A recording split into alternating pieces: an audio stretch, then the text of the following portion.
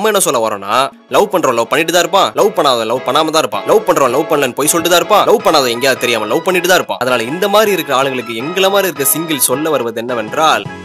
எதுக்கு